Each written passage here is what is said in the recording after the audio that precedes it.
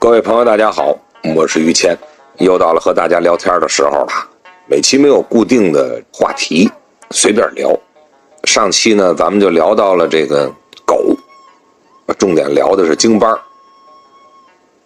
京班可以说是咱们中国特别古老的一个犬种，哎，而且呢，这个身世显赫，可以说是我们的皇家宠物。嗯，历朝历代皇上都喜欢京班咱这话说回来了，这个皇上干嘛非喜欢京班啊？按说咱们中国古老的犬种还有不少呢，你们沙皮、西施，包括那冠毛犬，那都是中国古老的犬种。这皇家为什么不喜欢那些呢？单门的喜欢京班呢？哎，这中间还真有个故事。这故事呢？就得从很早很早说起了。京班在皇室受宠，可以说是与佛教有关系。这话说，公元前五世纪，佛教产生于印度。这个佛教呢，就是传说呀，佛祖啊，以他强大的法力，把这个百兽之王这狮子给驯化了。驯化的怎么样呢？驯化的跟狗一样，啊，能够天天跟在佛祖的身边陪伴佛祖，非常听话。而且同时呢，这驯化狮子的这个过程呢，就显示了佛祖的智慧与强大，法力无边。嗯，就把狮子驯化了。但是狮子能够随时的陪伴在佛祖身边，这个传说一展开以后，大家就觉得这个狮子。同时，也就慢慢的被神化了，啊，这个狮子老能陪伴在佛祖身边，聆听教诲，沾染这个佛祖的气息，慢慢狮子也被神化了，也是一个这个灵兽，这么一种感觉，大家也都同时崇拜这个狮子。慢慢的呢，到了四世纪，四世纪佛教慢慢传入中国了，到了中国以后呢。汉明帝就想，我作为一国之君，是吧？天选之子，那叫天子吗？对吧？我当这皇上，我怎么着？我得养只狮子呀，对吧？我也得跟佛祖一样，我弄只狮子在身边多好。哎，可是狮子大家都知道产在非洲，对吧？咱们国家没见过狮子。啊，甚至连印象都没有，什么叫狮子呢？哎，但是这个随着传说过来，对狮子的描写呀，当时就是说，颈部长有浓厚鬃毛的，类似于虎形的猛兽，那就是狮子，啊，但是这没有狮子怎么办呢？当时汉明帝就找着一个狮子狗，哈哈，这长得就类似于描写的那样。实际上就是现在的这个京班嗯，他就感觉嘿，这京班长毛啊，这个颈部长有浓密的鬃毛，是吧？这么一个这个小兽，啊，那就把这个养在身边吧。这个可能就是狮子，嗯，所以汉明帝就养了这么一个狮子狗，啊，作为呃佛祖身边的狮子，这么一种感觉。哦，他这么一养。这王公贵族们，当时的大臣就开始都养，啊，上行下效嘛，皇上养，大臣也养，啊，王公贵族们就都开始养这个狮子狗，开始养京班这么就成风了，啊，就类似于传说这种瑞兽是灵兽，大家伙都开始崇拜敬仰，慢慢的，大家对这个狮子的这个造像，啊，就开始给它画呀。雕刻呀，啊，所以慢慢的，寺庙的门口啊，或者是贵族的家的大门口，就开始摆这种现在咱们看到这石狮子。您看这石狮子，您仔细观察啊，我说的有道理，啊，这我也不是瞎编的啊，啊，这是真实于记载。嗯，这种石狮子呢，实际上您仔细观察，它就是狮子狗。啊，您想啊，您看那个《动物世界》的时候，您也看见了，那个狮子是那么趴着吗？对吧？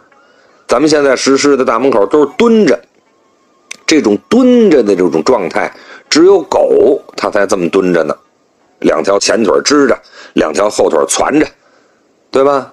只有狗才这么蹲着。您看《动物世界》里边，狮子打猎打完回来在那儿休息，大部分狮子都是趴着，两条前腿也是趴在前边，两条后腿攒在后边，对吧？脑袋稍微抬一点，呃，都是那个姿势，很少有见着狮子蹲着的，对吧？所以那时候的这个石狮子，它的雕像是大部分看着狮子狗雕出来的，这所有家家门口都摆这石狮子。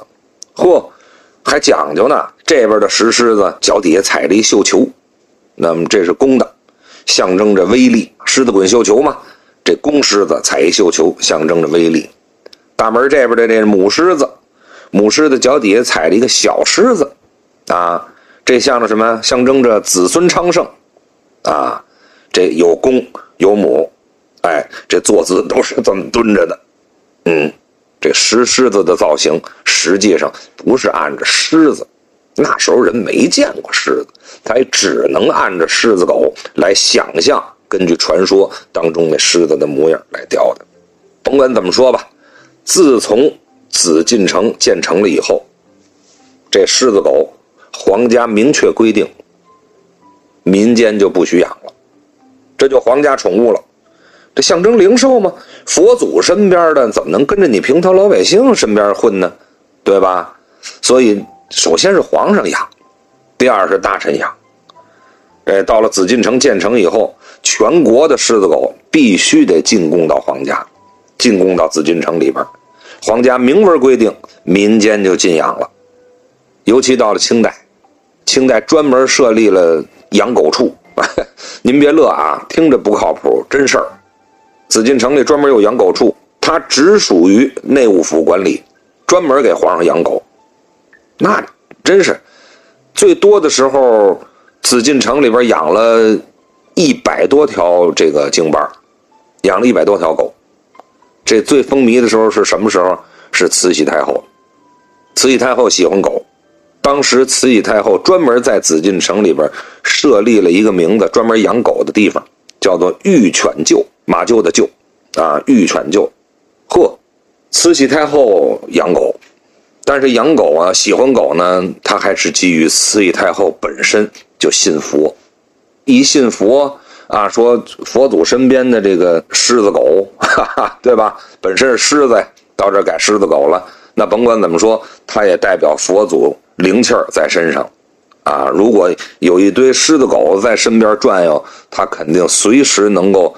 把佛祖的灵气儿沾染到他身上，他是这么认为的，所以他爱狗，也爱养狗，尤其是啊，慈禧太后喜欢这个狗脑袋上带一个白点儿，哎，他比较注重花色，嗯，脑袋上带一白点儿，甚至长条的这么个白点儿，啊，他觉得那个是天眼，这就开天眼了，通灵了，直接能跟佛祖说话呀，这多好啊！他认为这白点是天眼，所以他在这个京班的这个花色上特别培养，甭管什么色的，身上长什么花纹，这脑袋上必须有一白点，这才是上上品、高端的。他喜欢，他喜欢狗到什么份上？慈禧太后喜欢狗，可以说是到了误国的份上了。什么大事儿，大概狗都能决定。把狗能决定，嘿，真有这事儿。我给你举俩例子。慈禧太后养的狗，最起码在史料上记载有两次参政，啊，参与国家的这个决策。第一个就是咱们说到光绪皇帝，光绪皇帝是比较崇尚于西方的文化嘛，所以他光绪皇帝要组织变法，在颐和园的勤政殿。光绪皇帝召集康有为这些人商议变法的事儿，这正商议着呢，就在这个勤政殿的东北方不远的地方，就是慈禧太后的寝宫。啊，这寝宫的名字叫乐寿堂，啊，慈禧太后老佛爷住在那儿。听见这边议政，啊，说是要变法，慈禧太后本身呢就犹犹豫豫的，到底是管是不管呢？管怎么管呢？以什么借口？以什么口吻？啊，怎么下这决心？所以慈禧太后本身这还犹犹豫豫的，因为这种变法本身对军事啊、对权力呀、对各个方面上层的这些人士都是一种格局的改动。慈禧太后不太愿意。她正犹豫的时候，正好大太监李莲英来报，报什么呢？说您呐，看看吧，您那小狗啊生崽儿了啊！慈禧太后一听这小狗生崽了，马上。什么都先放一边了，我先看看吧。这生崽怎么个生法？生几个？什么花的呀？李莲英就说了：“这个好，生了一只，这一胎就生了一只，是个黄色的小黄狗，母的，而且最可贵的是脑门上带个白点儿。哎，我给您抱来看看。而且每次慈禧太后养的这狗生了以后啊。”慈禧老佛爷都请算命的大师啊，给他算。这一窝狗预示着什么？代表着什么？好好的哪儿，坏坏的哪儿？啊，从什么方面应该注意？从什么方面应该高兴？嗯，怎么个吉祥都得说说。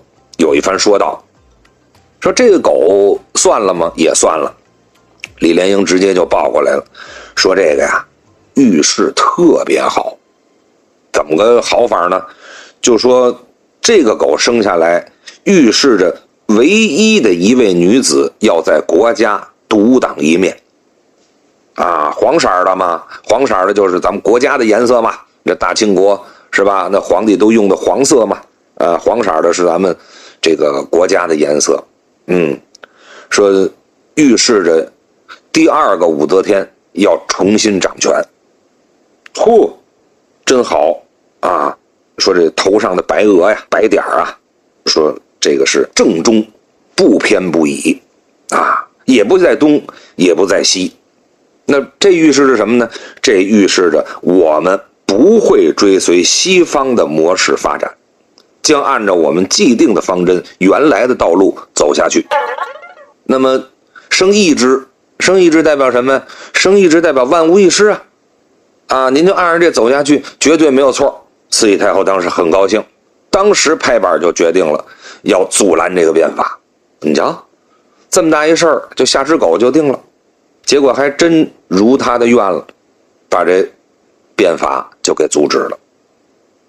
这是其中之一，一件国家的大政被狗干预。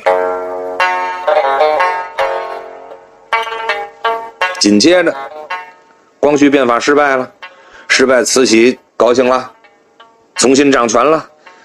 第二个武则天，对吧？执掌朝政，大权又重归的到了他的手上。但是掌权归掌权，慈禧掌权那个年代，国家可以说是内忧外患，外边有八国联军，国家内部也乱，义和团闹义和团啊。慈禧太后先是镇压，啊，这国家这乱必须得镇压。嗯，他外边八国联军进来多少人，想怎么攻，他倒没往心里去。你瞧，不知道人怎么想的啊？